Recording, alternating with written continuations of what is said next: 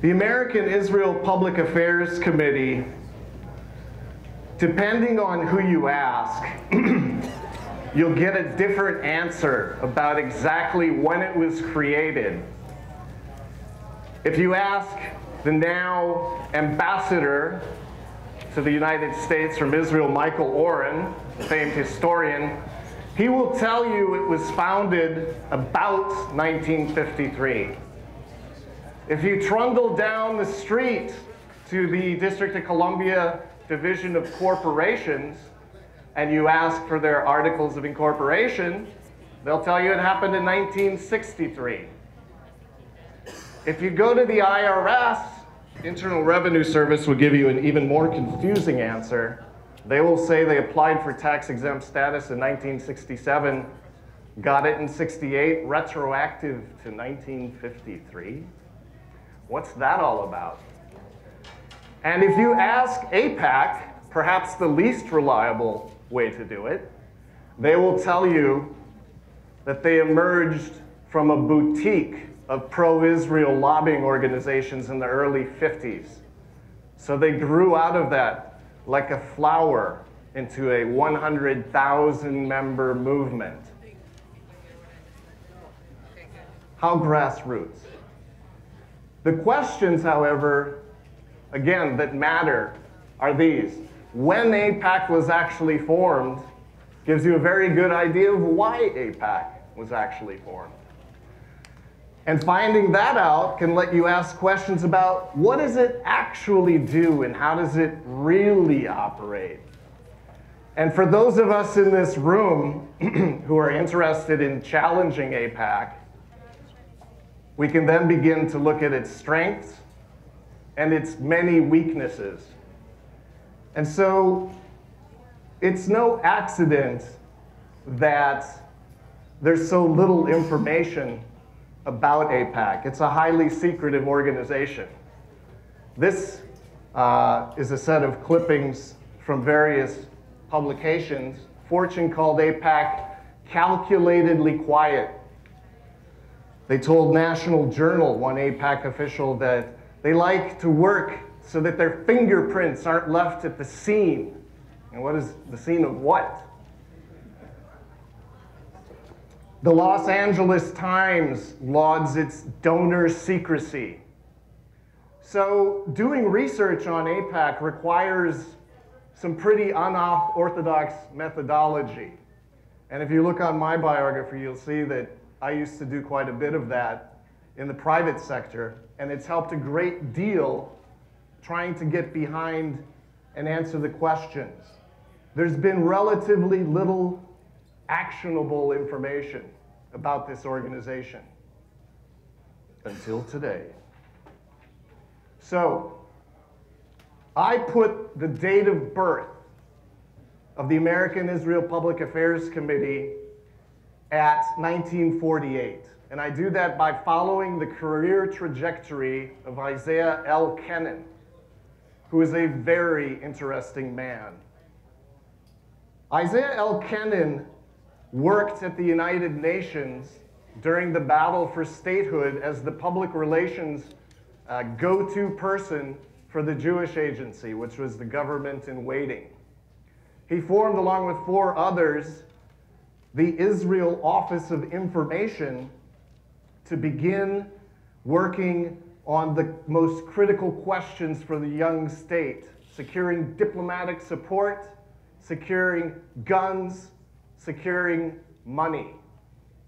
And so Kenen began working as an employee, as a employee of the Israeli Ministry of Foreign Affairs. Now, Kenen was born in Canada in 1905. He was naturalized a U.S. citizen in 1934, joined the Communist Party in 37, and did a number of other things later on which were instrumental to AIPAC's functioning, including starting an extremely important lobbying newsletter, the Near East Report, and uh, AIPAC, which he led until 1975. One of the interesting sources of information about Kenen is the US Department of Justice. The US Department of Justice was not interested in Isaiah Kenen, and he was never the subject of a criminal investigation. But Isaiah Kenen was running around with so many Israeli intelligence agents and foreign officials that by following them, Isaiah Kenen was naturally picked up in many uh, informant reports and secret reports about the doings of the Israelis in the United States. And so, what we know about some of those initial strategy meetings of particular interest in 1949 were Kenen's role managing a New York office of the Israeli, uh, Israeli Information Office and localizing, turning Israeli policy objectives into American policy objectives, localizing initials for the US market, both different grassroots uh, Israel lobbying organizations and the general public. The FBI, in an 89 page report that was released on the internet last week, uh, noted that Kenen's strategy was initially set by the Israeli Minister of Foreign Affairs, by the Israeli ambassador, and by the founder of Mossad, Reuven Shiloah, in a strategy meeting in which they passed him their most pressing concerns and said, Isaiah, we need these things done. You've been a tremendous success as the Jewish agency's PR person. You can do this for us. Now, Kenen, in his response to this strategic directive, announced he was ready to go. And the Justice Department noted that it looked a lot like an intelligence agency operation. You have encrypted communications coming in from Tel Aviv. You have encrypted communications between Washington and New York. They looked at this and they saw something very interesting, something possibly threatening. Now, at this juncture in his career, Kenen was a registered foreign agent under the 1938 Foreign Agents Registration Act. This is a law that was initially created to keep organizations such as the Nazi Party and Soviets who wanted to infiltrate US groups uh, from doing that successfully. Not by saying they couldn't be in the United States, but by saying that they had to openly register all of their people at the Justice Department and disclose their funding and programs.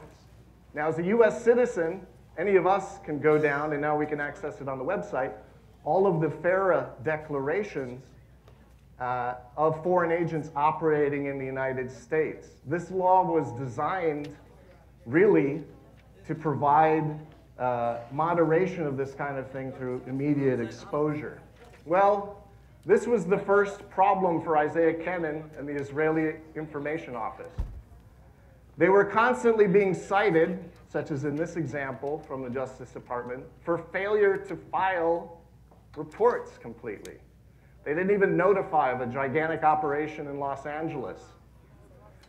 Um, they weren't circulating their material with the appropriate disclosure stamps, which said a copy of this material is filed with the Justice Department and it's a communication from the Israeli Ministry of Foreign Affairs. They didn't want to do that, and it's pretty obvious why. If you're mounting an AstroTurf group, fluffy bunnies and cute kittens, you don't want any connections with the foreign power. And so that was objective number one, was severing that need to disclose to have a more effective public relations and lobbying uh, solution.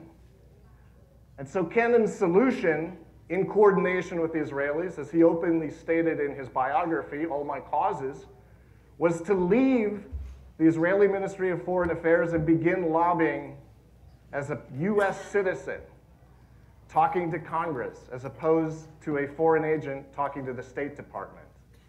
And when he told the Justice Department to delist him as a foreign agent, they said, uh uh, no, not if you're simply moving out into the private sector to do the same thing you've been doing for all these years for the Israeli government. And he ignored the order. He went into an outfit called the American Zionist Council, which was an umbrella group formed by the Zionist Organization of America, by Hadassah and some other groups to pressure and uh, get policy initiatives running. But they ran into trouble quickly too when they were found using tax exempt dollars for lobbying. So he formed the unincorporated American Zionist Council for Public Affairs as an unincorporated division of the AZC and began lobbying, but he couldn't raise any money. He had to get money from Zimmel Resnick and from the guy with his eyes blacked out, um, who, some gangster funding basically, from people who could not uh, believe that he wasn't still on the Israeli government payroll, which he was. His Near East report, in fact, was heavily subsidized by the Jewish Agency. The Near East report would be delivered with a little note card, as we have at the bottom of there, saying compliments of Isaiah L. Kenen. But it wasn't compliments of Isaiah Kenen, it was compliments of the Jewish Agency, which pumped $38,000 to publish 50 issues. And he did yeoman's service for the Israeli government. In fact, in 1961, when Kennedy was cracking down on Israel or beginning to crack down for launching a clandestine nuclear arms program, he ran various issues denying that Israel could even join the club of major industrialized nations like Soviet Russia, the atomic club. He said that's simply impossible. It'll never happen. And this is the kind of thing he would be promoting uh, in coordination uh, and receiving funding also from Abraham Feinberg, who scholar Avner Cohen in Israel and the Bomb recently outed as the Israeli nuclear weapons funding coordinator for the United States. And I'm mentioning this now because I'm going to circle back to this at the end. He was a fundraiser for the Weizmann Institute. He was very concerned about massively lobbying people like Glenn Seaborg of the Atomic, uh, Atomic Energy Commission. Uh, he became Weizmann Institute chairman in 1971. And this is the subject of my latest book about the movement of US funding and highly enriched uranium out of the country. But we'll come back to that at the end. Kind of a cliffhanger. So, the AZC was ordered to register as a foreign agent after activists such as Rabbi Elmer Berger, the subject of an excellent book by Jack Ross, uh, began talking to the Justice Department, talking to Congress, talking to uh, Senator J.W. Fulbright, and saying they're taking money from overseas and lobbying with it. This is not how we want to see uh, Jewish charity funds being used. And so they were ordered to register as a foreign agent. This left Kenen adrift. He was in an unincorporated division lobbying for the AZC. What could he do? Well, six weeks later, he filed incorporation papers in the District of Columbia, six weeks after the foreign agent registration demand. And while the AZC continued to fight arguing that the Foreign Agents Registration Act doesn't apply to Israel. It was meant for you know other people, other countries, but not Israel. Kenen began Kenen began launching and re, uh, reconstituting the AZC essentially. There was a Senate investigation which was launched in 1961 because the Senate Foreign Relations Committee was worried about being subjected to Lavon style provocations in the Middle East, which would force the US to act. This is a secret memo that was declassified in 2010. Walter Pincus, who's with the Washington Post now but was a lead investigator, looked at some of the things that were being done through the AZC and said, I think this is an example of a foreign principal writing legislation for the US Senate. And in this case, it was about Soviet emigres. But he doesn't talk about that anymore. He swore to Fulbright that he would not. But one of the things that has constantly revealed AIPAC is its insatiable appetite for US classified information. Some of you may be aware that two months ago, a State Department file about Morris Amitay's acquisition of Hawk missile data, which almost jeopardized US policy in the Middle East by driving Jordanians into the arms of the Soviets, was declassified. In 1984, AIPAC, in coordination with the Israeli Ministry of Economics, took a classified document full of trade secrets and used it to negotiate a free trade agreement and thwart opposition lobbying. In 2004, Keith Weissman, Steven J. Rosen were indicted for espionage. AIPAC has a well-established record of seeking secrets so that it can front run US policy and shape it. And so one of the things that I think is, is horrible is that this isn't taking down a website. Okay, we all laughed about that this afternoon. What AIPAC did when it took the trade secrets of 70 plus organizations and used them to lobby against them was disenfranchise the US Bromine Alliance of Arkansas, who didn't want to compete with a foreign state-owned operation. They disenfranchised the AFL-CIO. They disenfranchised small tomato canners by taking their data and using it against them. And some of the most prominent figures and talking heads, such as Martin Indyk and uh, Steven J. Rosen, well, maybe not him so much, Douglas Bloomfield, constantly in the Jewish Telegraphic Agency, they were all involved in this. The FBI files have been declassified. So what penalty did they ever suffer for taking this data and using it against the owners? Nothing. And why did they do it? For a $10 billion prize. U.S.-Israeli trade, before the trade preferences were granted, used to be roughly equal. Now it's a $10 billion a year deficit to the United States, uh, and it's basically a subsidy. And so it was worth it for them to take that data and win passage of that unfavorable trade legislation. So what are AIPAC's strengths, weaknesses, and opportunities? It's an interconnected organization with 53 other organizations on its executive committee. And that's the Conference of Presidents of Jewish Organizations. It's obviously got a campaign finance network that it's constantly signaling and has been in court because of improper signaling. It's essentially got diplomatic immunity for information trafficking and secrecy trafficking, heavy establishment media influence, a single issue fo uh, focus, and the things we talked about in terms of secrecy. So what are its weaknesses? Well, these are all of the regulatory failures I don't even want to go over because we're five minutes till the end.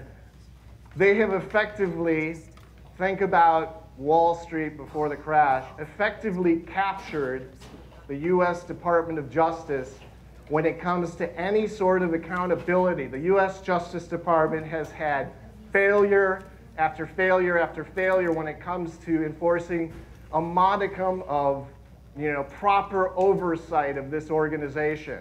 They've effectively achieved today de facto immunity. So where can we find places that we can exploit some weaknesses? AIPAC is more and more becoming publicly perceived as a foreign agent, an organization that exclusively advances the interests of a foreign state. End of story. Its PR frameworks are being challenged from many different sides, and there's some people here who do that particularly well, like Philip Weiss. Illegalities and dirty tricks have been exposed online. So when a former AIPAC director, such as Josh Block, tries to smear a couple of prominent people like MJ Rosenberg and get them fired, 10 years ago it would have worked. Now that we have the internet, it doesn't work because it's exposed. It's also been exposed because one of its biggest insiders, Steven J. Rosen, is suing the organization for defamation. He sued them for $20 million, the board of directors of AIPAC, for telling the public that his behavior in secrets, secrets trafficking did not comport with their standards. and we went to the last uh, courtroom drama in this saga and heard Rosen's lawyers telling the judge, AIPAC doesn't have any standards. And it could cost them $20 million. And there's a lot of room for getting involved through amicus briefs and helping keep that alive. That could cost AIPAC $20 million. So there are all sorts of weaknesses that AIPAC has that go beyond direct action. And so opposition research is key to challenging this large and powerful organization. Public education sessions such as this one, formal statements of indictment where you go to the IRS, not quietly, but loudly and publicly and say, this organization is not a charity, it has no charitable purpose. You go to the DOJ and you say, why aren't they registering? They were part of an organization you already ordered to do that in 62. You go to the Office of Congressional Ethics, and I had the pleasure of doing that with Medea Benjamin a couple of months ago, and you say, why is AIPAC taking people to Israel when all of the other lobbies can't do it? Court interventions, I already mentioned. So let's circle back to the Weizmann Institute. AIPAC has been promoting at its most recent events the Weizmann Institute.